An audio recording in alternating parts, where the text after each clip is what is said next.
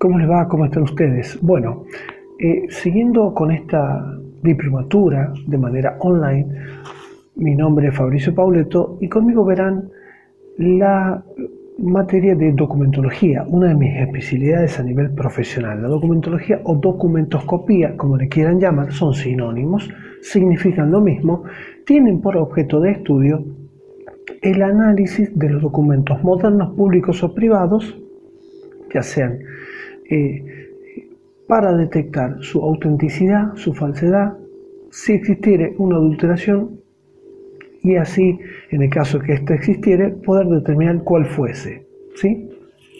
Esa es la función de un, de un documentólogo o documentoscópico, como le quieran llamar. ¿sí? Son sinónimos y eh, esta ciencia, esta documentoscopía o documentología, tienen por objeto el análisis de estudio el análisis minucioso, el análisis exhaustivo de los documentos, el análisis eh, extrínseco primero y luego intrínseco para así determinar su autenticidad o falsedad y en el caso que lo hubiese, si presentar alguna adulteración.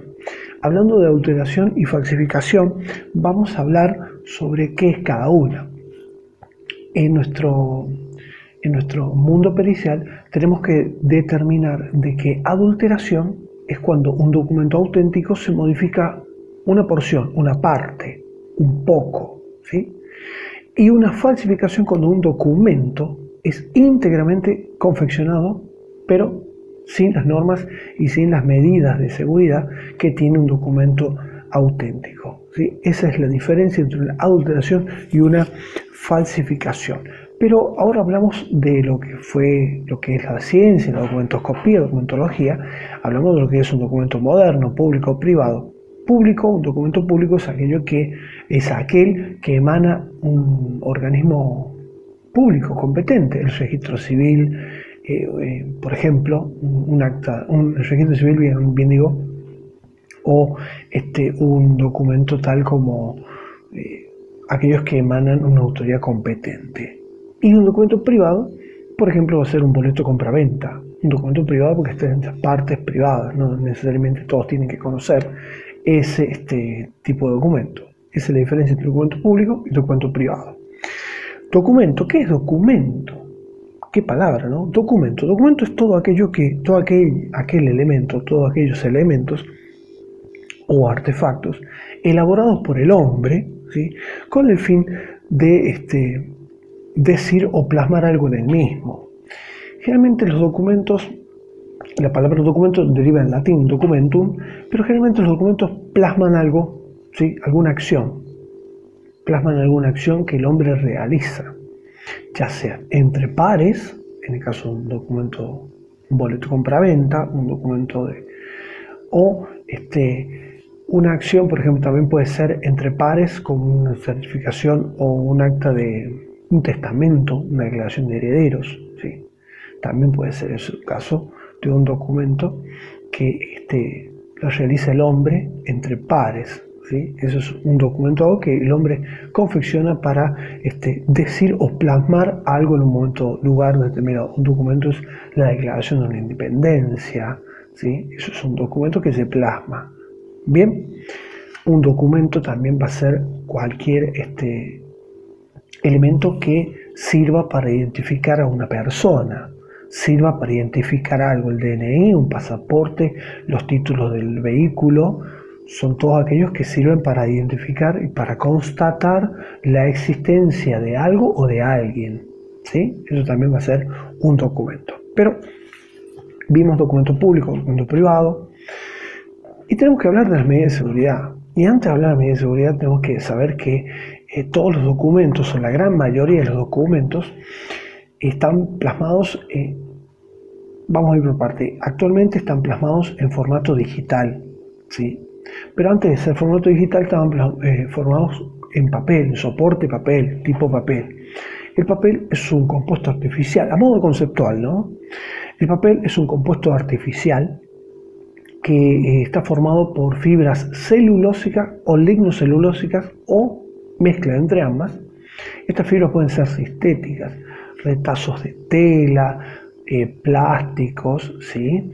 que eh, como les decía, el papel se forma con estas fibras celulósicas, lignocelulósicas, este, se mezclan y este, forman el papel. Estas fibras quedan aglutinadas o entrecruzadas entre sí y esa aglutinación le da al papel el poder de resistencia, el poder de durabilidad y el poder de absorción de la tinta, con otros artefactos como ser el encolado, el colorante, el pegamento que se le pone al papel, eso lo hace más duro o no. Por ejemplo, papel es fabricado este, manera para hacer cartulina, para hacer un, papel oficio, un, un papel oficial, un papel de una resma de papel, de una hoja A4, no tiene el mismo poder de absorción de la tinta que un papel de este, servillete de papel. ¿Por qué? Porque tiene otro tipo de encolado. El encolado que le da el poder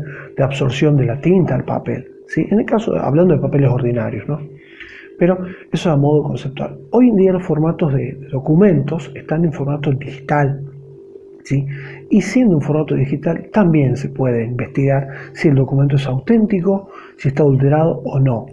Porque los mismos presentan ciertas características de este, medidas de seguridad. Y llegamos al momento. Las medidas de seguridad de un documento son tan importantes que es menester conocerlas a todas.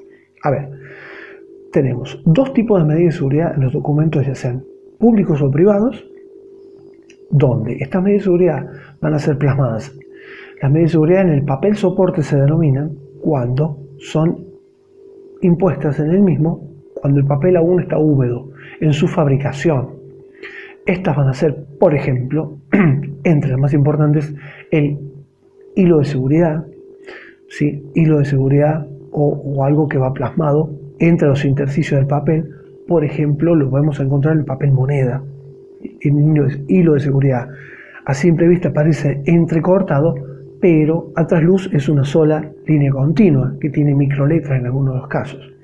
Por dar un ejemplo, vamos a encontrar otra medida de seguridad en el papel soporte, que es muy importante, yo creo que es una de las más importantes de todas, es la conocida como filigrana o marca de agua. Esta es un sello de agua que se introduce en el papel cuando este aún está fresco, está en la formación, y este, es visible a trasluz. Es un registro, es una copia, un modelo, puede ser el modelo de eh, un sello del y lo vamos a encontrar, por ejemplo, en un boleto compraventa, en un formulario del automotor, en un documento nacional de identidad, lo vamos a encontrar en un pasaporte, en los papeles monedas comunes y rutinarios del país y del mundo porque es una de las medidas de seguridad más infalibles del país y del mundo. Vamos a encontrar la marca de agua.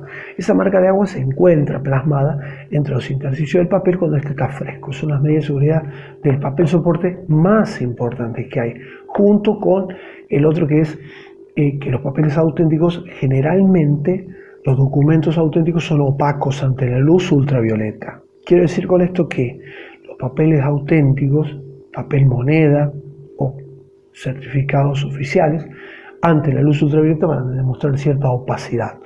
Esta opacidad va a mostrar si tienen fibrillas de seguridad que sean visibles ante la luz ultravioleta y fluorescentes. ¿sí?